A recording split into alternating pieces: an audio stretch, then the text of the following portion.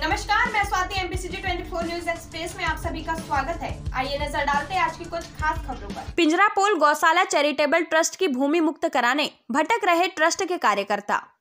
हमारे संवाददाता को जानकारी देते हुए समाज सेवक नरेंद्र कुमार ने बताया कि हम सभी समाज सेवक कलेक्टर कार्यालय में पुनः शिकायत लेकर जिला कलेक्टर महोदय के समक्ष प्रस्तुत हुए।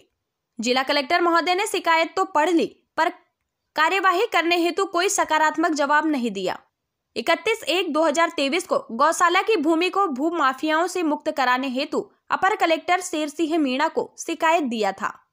लेकिन पंद्रह दिन हो गए, इस शिकायत पर अभी तक किसी प्रकार की कोई कार्यवाही नहीं की गई। आज पुनः कलेक्टर महोदय जी के सामने अपनी शिकायत प्रस्तुत कर उन्हें भू माफियाओं पर सख्त से सख्त उचित कार्यवाही की मांग की है। अब देखना यह है कि जिला कलेक्टर महोदय कितनी तत्परता से शासकीय एवं गौशाला की भूमि को भू माफियाओं से मुक्त कराते हैं। एक माह पूर्व कलेक्टर महोदय जी ने मात्र 12 घंटे में करम मेहता क्षेत्र में पाँच पचास करोड़ की शासकीय भूमि भू माफियाओं से मुक्त कराया था, जिसे देखकर मुझे लगता था, जिला कलेक्टर महोदय जी मेरी शिकायत को बड़ी गंभीरता से लेकर गौशाला की भूमि को मुक्त कराएँगे और गौशाला चैरिटेबल ट्रस्ट के ट्रस्टियों को दंडित करेंगे। अगर सात दिन में माननीय जिला कलेक्टर महोदय जी मेरी शिकायत पर गंभीरता से कार्यवाही नहीं करते हैं तो मैं उनके कार्यालय के द्वार के समक्ष आमरण अनशन पर बैठ जाऊँगा। साथ ही माननीय उच्च न्यायालय महोदय जी के समक्ष समस्त दस्तावेजों के साथ जनहित याचिका प्रस्तुत करूँगा। एमपीसीजी 24 न्यूज़ एक्सप्रेस जबलपुर से संभागीय ब्यूरो चीफ राजकुमार यादव की रिपोर्ट। जी बताइए जन सुनवाई के नाम पे आपने यहाँ पे ज्ञापन दिए और आपने आवेदन भी दिए। क्या समस्या था? क्या मामला था भाई साहब आपका? पंद्रह दिन में मैंने ये दूसरा आवेदन दिया जिला कलेक्टर महोदय जी को। रानीताल चौक में गौशाला चैरिटेबल ट्रस्ट है पिंजरापोल गौशाला चैरिटेबल ट्रस्ट जिसको आ, पिंजरापोल एसोसिएट लिमिटेड कर दिया गया है जो कि गौशाला की आरक्षित भूमि थी जिसे पिंजरापोल के ट्रस्टियों ने गलत तरीके से अपने नाम पर दर्ज करवाकर बड़े शहर के बड़े बिजनेसमैन रसूखदारों को बेच दिया है।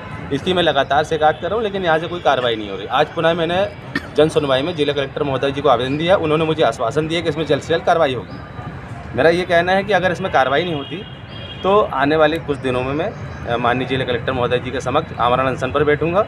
और अगर उसके बाद भी मेरे मुझे न्याय नहीं दिया जाता या गौशाला की भूमि वापस नहीं की जाती है तो माननीय उच्च न्यायालय महोदय जी के दरवाजे खटखटाऊँगा। ये नाम बताएँगे अपना? नरेंद्र कुमार। साइड में स्वतंत्रता संग्राम सेनानी का पुत्र हूँ जो उत्तराधिकारी प्रमाण पत्र के लिए भटक रहा हूँ और पाँच साल से दो तीन साल हो गए और भटकाते हुए। और अभी तक मेरा पत्र स्वतंत्रता संग्राम सेनानी उत्तराधिकारी प्रमाण पत्र नहीं दिया गया। जन सुनवाई में जन सुनवाई में क्या बोला गया? जन सुनवाई में आते हैं जन सुनवाई हो जाती है उसके बाद में अपना पावती लेके भटकते रहो ये कागज़ लाओ वो कागज़ लाओ वो कागज़ लाओ। लेकिन आज तक मेरा मतलब बना नहीं मेरा प्रभाव नाम क्या है नाम मेरा राम नारायण। कहाँ से आए आप? मैं यहीं जबलपुर का हूँ स्थायी निवासी।